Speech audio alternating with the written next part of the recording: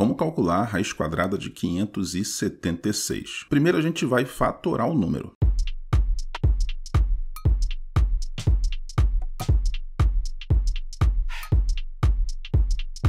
Agora, cada par de números iguais vai gerar um número fora da raiz. Então, aqui dá 2, dá 2, dá 2 e aqui dá 3. E para dar o resultado é só você multiplicar isso tudo. 3 vezes 2, 6, 6 vezes 2, 12, 12 vezes 2, voa lá, 24, que é a resposta.